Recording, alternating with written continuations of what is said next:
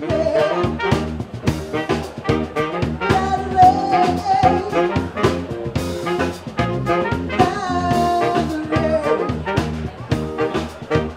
wird Whale und Beaver Creek präsentiert. 2015 sind dort die Weltmeisterschaften. Ja, das ist ein guter Ort. Äh, Whale macht so viel für den Skisport. Die sind der, der, Motor für den Skisport in Amerika und die verdienen es, dass sie die Weltmeisterschaft jetzt zum dritten Mal haben.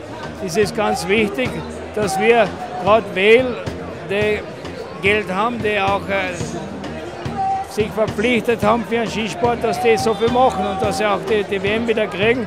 Und ich bin sicher, 2015 werden schöne Spiele, schöne Weltmeisterschaften werden.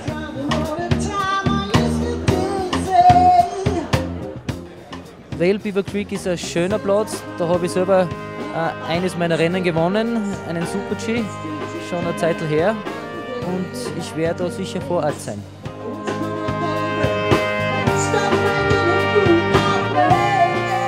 Ich bin überzeugt, dass äh, Vale und Beaver Creek eine hervorragende WM schaffen werden. Äh, ich bin begeistert äh, und freue mich schon auf den Zeitpunkt, wann wir die Fahne an Vale Beaver Creek übergeben können. Aber wir haben ja noch eine Woche WM.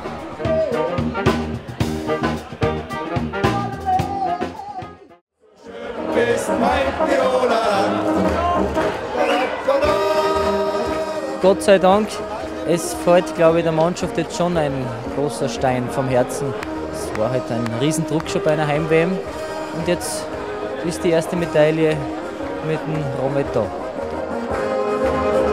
harter Kampf hat dich ins Ei geschlagen, von der gewissen Todesüberholung.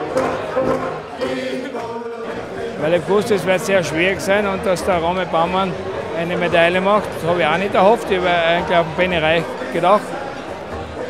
Aber der Romet ist eine gute, gute Abfahrt geworden, sensationell gute Abfahrt und auch einen guten Slalom.